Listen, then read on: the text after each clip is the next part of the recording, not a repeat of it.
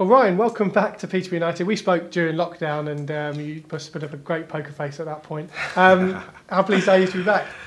Um, delighted, absolutely delighted.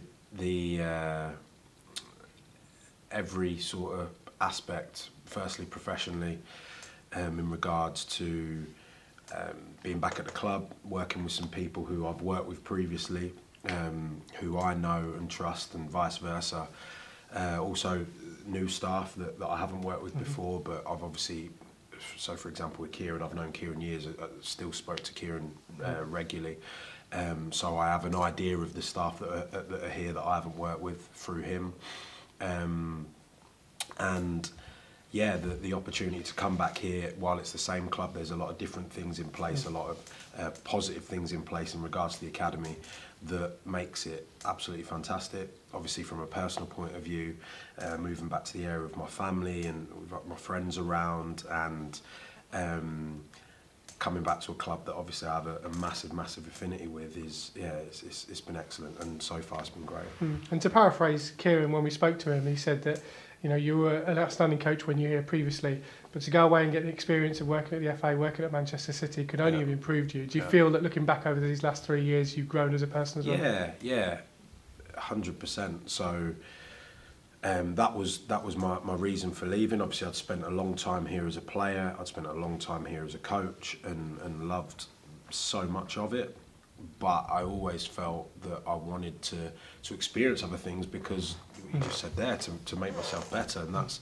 ultimately my job as a coach is to try and help players and make players better. But if I'm not going to uh, have that same attitude with myself then mm. then I'm not going to be able to do it to the best of my ability I feel and or maximize my own potential. So that was it. And, and yeah I've learned learned countless things things that um, that are new that, that I feel like I, I now bring and, and what have you, but also confirming things that I thought and, and, and had inside me as a coach and, and, and worked on anyway. So both sides of it, it's it's a win-win for me. So yeah, it's been a fantastic three years. I've learned a lot. I spent a lot of time at the uh, at both the FA and Man City working with some top players, some that for their age, the best players in the country, some of them, and yeah, that can only help me uh, be better, uh, have higher standards for myself, there first and foremost, but obviously then to transcend that, that mm. higher standard and, and the expectation that, that I and, and we as coaches put on the young players as well. Yeah, it also takes you out of your comfort zone because, as you say, if you were here at Peterborough,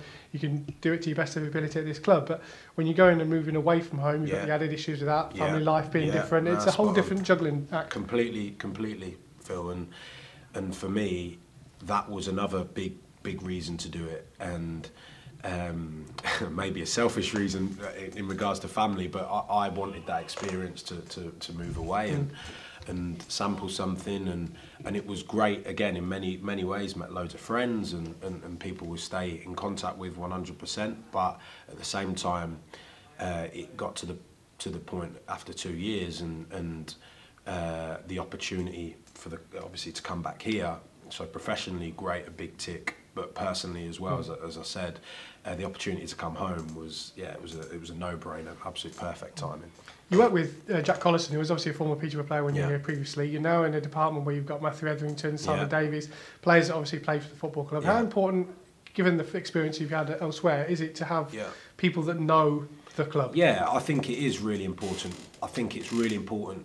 Two things: one, to have a mixture of both, because you don't necessarily need just either ex-players or people who have an affinity with the club because you do need uh, fresh ideas, you need uh, fresh blood sometimes, um, 100%. So it's important you have a mix, so whether it's a playing background or a teaching background or a mixture of both that some people have. So it's important you have a mix. Um, but I do, yeah, I do feel that it's really important to have have uh, ex-players, but but just as importantly, the best people as well. Um, Matty and Sai, who I've known from a distance, they're obviously a few yeah. years older than me. They were the players, they were the shining light in the academy as me as a player, both of them. Um, so because of that, I've always followed their careers as players um, and looked look, uh, looked to them from that point of view and, and took a keen interest in them. And then obviously them coming back a couple of years ago, uh, took more of an interest in what they were doing as obviously as coaches. Um, and it's fantastic. It's fantastic for the players um, that they're working with now. It's also fantastic for the players that are, that are progressing through to see that. And it's great for the coaches, it's great for me as a coach to, to obviously see what they're doing and, and try and learn and take things from them um, and the other coaches as well. So uh, Kieran said it, uh, it's, it's bang on that, that we have certainly at the, at the top end I would feel with myself, with, with Matty and ex players that have, have have been through the academy at this club can only can only be a positive thing. And your role is, is such a key one. Everyone thinks that within the academy, the 18s managers are the most important people, but actually, when you look at it as a whole, mm-hmm. because you're going through so many different phases, yeah. when they get to the phase that you're obviously going to be in charge of, it can go so many different ways. Yeah, I think no one phase is is probably more important than the other because you need the foundation to get the basis in, the foundation, the, the fundamentals of, of playing the game. Um, you need the PDP because that's that get that's that uh, link between schoolboy mm. and first team, which is so important to get right. But the youth development phase, I think the key, the difference uh, between them is one, the number of teams. So obviously we've extended it even more now. So mm. we've got 12 to 16s. Um, rather than just 13s to 16. So, so basically, when they go into uh, year seven at school, um, but also the amount of things that, that go on in those those, those periods. So uh, just take from a football point of view. So you're going from 9v9 to 11v11. You're um, beginning then physically to change. You've got at, at 12 years old, they are still quite similar physicality. Yeah. Certainly 14s, 15s, they start to go and you'll get dots and you'll get people that are, are physically like men. Um, and then you've got the emotional side of it that obviously they're, they're going through um, through puberty in those those ages um, and you get outside influences uh, once you start and get into 16 players certainly and, and at this club it's happened so many times where they're starting to to get the notice of uh, the 18s and, and as we've known in the past and players that, that I've worked with even at, at first team mm. at, at under 16 players are, are thrown in so you start getting the, the expectations from outside and you can get uh, whether it's uh, agents or whether it's um, other people taking an interest that can can maybe detract focus. So the, the size of the, the, the phase and the differences from bottom to top are massive. That's why it's so important. Mm. Um, and while for me, I I will oversee that, um, and I'll obviously focus game days and, and a lot of my stuff with the under 16s, um, I'm overseeing the whole phase and it, I'm just one person. You've got in every age group, you've got uh, a, a lead and an assistant who play, who, who work with the boys mm. far more often day to day than myself for, for a lot of those yeah. age groups. So 100% we have, and I'll continue to, to lean on those guys. Um, and it's yeah, it's it's a massive phase in terms of things can go from zero that they might be a, a struggler and just doing okay to by the end of 16 can be flying. Mm. or it can go obviously the opposite it can go the exact opposite. So so yeah so it's it's it's an important phase. It's one that I'm really passionate about. Um, I've done obviously the job before. Uh, on a as I said earlier we've got a lot more support now which means I think we can and we need in terms of expectation to be doing the job better.